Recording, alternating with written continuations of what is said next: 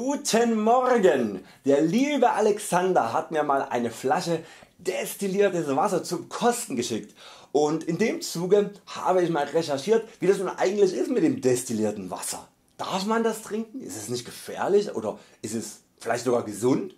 Ich habe natürlich das Video mitlaufen lassen als ich das erste Mal destilliertes Wasser getrunken habe und was dabei rausgekommen ist das zeige ich Euch gleich. Aber vor dem Trinken habe ich mir erstmal schlau gemacht ob das Trinken von destilliertem Wasser eigentlich nun wirklich gefährlich ist oder ungefährlich ist. Denn mein Chemielehrer, da kann ich mich nicht dran erinnern, hat mir gesagt wenn du destilliertes Wasser trinkst dann platzen die Zellen und du stirbst. Das ist auch durchaus nicht inkorrekt der Sache wegen, wenn man das in vitro, also im Glas ausprobiert. Denn Zellmembranen sind halb durchlässig. Sie lassen die Wassermoleküle durch, aber Salz und Zuckermoleküle bleiben vor der Zelle. Da ja immer ein Konzentrationsausgleich quasi angestrebt wird und entsprechend strömt das Wasser immer dahin wo zum Beispiel eine höhere Salzkonzentration ist. Wenn man nun destilliertes Wasser an eine Zelle heranführt und das Wasser an sich keine Mineralien hat, äh, die, die quasi dafür sorgen dass, dass nicht das gesamte Wasser in die Zelle strömt, sondern auch außen vor bleibt aufgrund der Konzentration, fließt das Wasser um eben die Konzentration auszugleichen in die Zelle hinein, da ja in der Zelle Salz und Zuckermoleküle existieren, die quasi so lange verwässert werden bis die Konzentration außerhalb der Zelle hergestellt wird, die ja kein Salz und Zuckermoleküle enthält. Auf gut Deutsch, die Zelle wird immer mehr aufgepumpt und äh, ja, da, da keine Mineralien außerhalb sind, in vitro, ne, äh, platzen die Zellen dann halt eben irgendwann. Und das gilt nicht nur für Körperzellen, sondern auch für die Blutkörperchen. Das ist losgelöst im Reagenzglas also wirklich absolut todbringend für die Zellen. Aber das ist ja oft die Problematik bei den Analysen bezüglich der menschlichen Gesundheit, dass im Körper, also in vivo, die Sache ja, auch anders aussehen kann. Denn wenn wir destilliertes Wasser trinken, vermengt sich dieses Wasser mit den Nährstoffen der aufgenommenen Nahrung und ja, auch den mineralischen Bestandteilen der Magensäure. Dann hat man quasi wieder mineralisches Wasser und kann dieses ja, wie auch viele Menschen zeigen, also dieses destillierte Wasser in Rohform äh, ja, wirklich lange nehmen und relativ problemlos trinken. Aber ist es auch gesund? Kommen wir gleich dazu. Erstmal das Video wie ich das erste Mal in meinem Leben destilliertes Wasser trinke.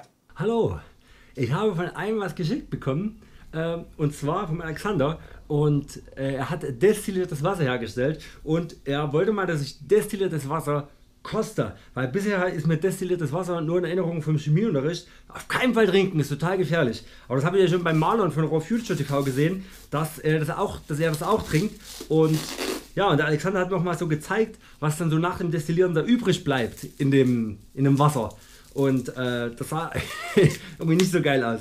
Deswegen äh, werde ich mich jetzt hier live vor der Kamera umbringen. Zumindest, wenn man davon ausgeht, das seinen eigenen Glaubenssätzen. Weil meine Glaubenssätze, ich habe gelernt, destilliertes Wasser soll man nicht trinken, davon stirbt man. So, und das ist das, was ich gelernt habe. Und entsprechend handle ich nicht jetzt, sondern ich glaube einfach mal den Marlon und den Alexander und all denjenigen, die sagen, Mensch, destilliertes Wasser kann man auch trinken. Und das probiere ich jetzt. Und dann will ich sehen, ob es einen Unterschied gibt zu normalem Wasser. Ja?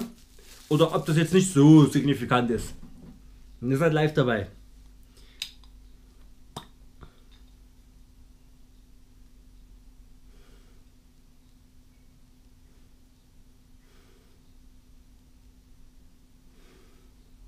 Achso, ich wollte sagen, das stinkt ein bisschen, aber das sind meine Hände, ich komme gerade aus dem Garten. okay, na, dann mal gespannt, ob es da einen Unterschied gibt.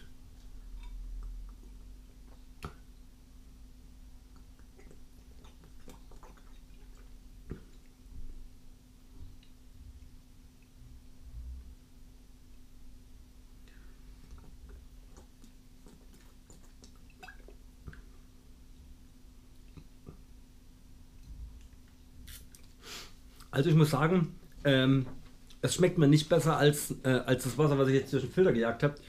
Tut mir leid, Alexander, aber ihr gibt immer die ehrliche Meinung. Es schmeckt bitterer. Es schmeckt definitiv bitterer, obwohl es eigentlich gar nichts mehr schmecken darf, irgendwie normales Wasser. Also es schmeckt auf jeden Fall bitterer als das Wasser, was ich, also ich, ich kenne normalen Leitungswassergeschmack, ich kenne Akala-Geschmack und den Geschmack vom BWT-Filter. Und die lassen sich auch drei relativ gut voneinander unterscheiden. Und das hier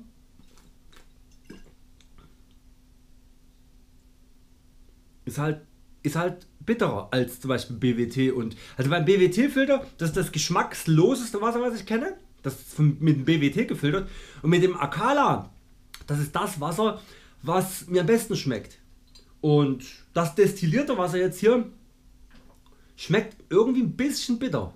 Also nicht viel, also immer wenn wir über Wassergeschmack reden, ist das immer nicht so äh, krass. Also das sind leichte Nuancen. Und das hat eine leichte bittere Nuance.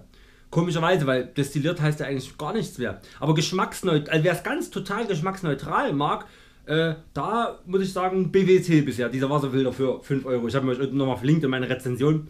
Und hier, das destillierte Wasser reißt mich nicht vom Hocker, muss ich einfach so sagen. Und ja, was natürlich schön ist am destillierten Wasser oder was dafür spricht, ist, wenn man mal die Bilder sieht, was nach dem destillierten Wasser sozusagen noch übrig bleibt, was in dem Wasser war und äh, der Alexander hat auch gemeint, das riecht ganz schön streng.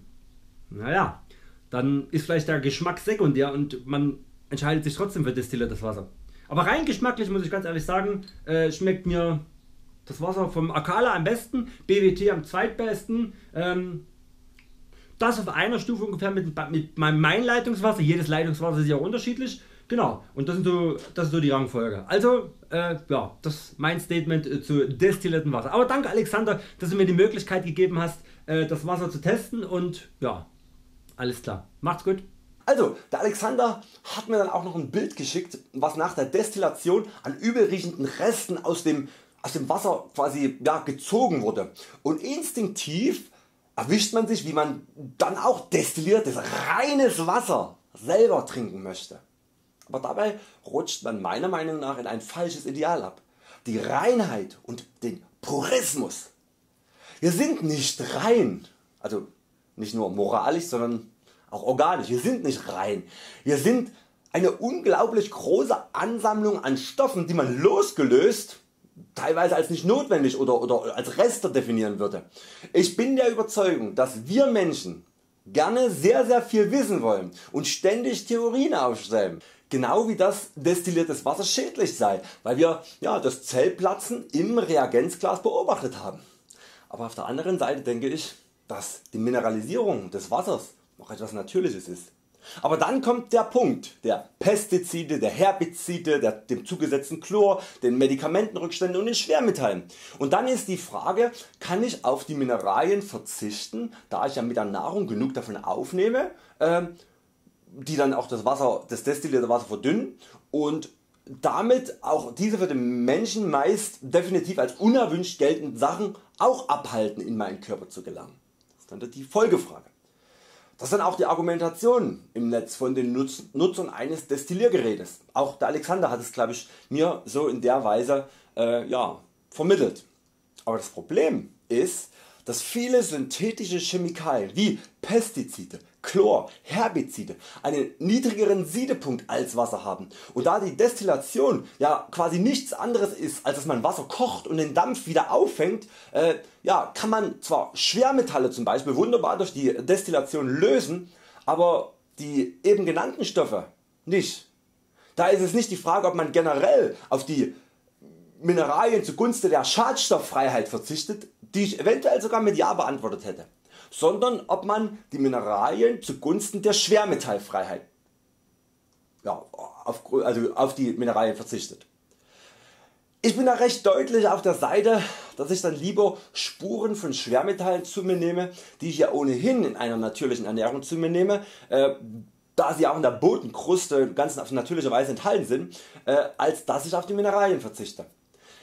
Generell hat man ja schon an den Nervengiften Arsen und Selen entdeckt, dass sie zwar im Übermaß schädlich sind, ganz ohne Frage, aber in geringen, Menge, äh, geringen Mengen sogar wichtig sind mittlerweile, sogar als essentiell angesehen werden. Das hat man jetzt bei Aluminium und Quecksilber zwar jetzt noch nicht ja, herausgefunden oder wissenschaftlich bestätigen können, dass sie essentiell sind, aber man hat genau wie bei Arsen äh, früher das äh, herausgefunden wurde, ähm, heute auch herausgefunden, dass ein Übermaß von Quecksilber und Aluminium sehr sehr schädlich ist und daher ist Aluminium und Quecksilber von der Gesellschaft stigmatisiert, obwohl es nach meinem Bauchgefühl wahrscheinlich auch absolut essentiell für uns Menschen ist. Da gibt es keine wissenschaftliche Tätigkeit. Also bei Aluminium hat man ja äh, zumindest erkannt, dass es die, äh, die Aktivierung des Adenylactylklase und die Stimulierung der DNA-Synthese äh, vorantreibt. Bei Ziegen führt zum Beispiel Aluminiummangel sogar zu Fehlgeburten und äh, Wachstumsverzögerungen. Das ist unter anderem auch im Buch von Herrn Dr. Leitzmann nachzulesen, der ja äh, Vegetarier ist und auch mit, der, mit dem veganen äh, Lifestyle sympathisiert und, ja, und auch da auch was die Naturheilkunde angeht schon durchaus äh, ja, da nicht abgeneigt ist. Und selbst der hat es halt dann gesagt okay Aluminium hat auch Sinn. So. Und das Buch habe ich unten übrigens mal verlinkt Ernährung des Menschen heißt das. Aber die Menschen haben es lieber einfach.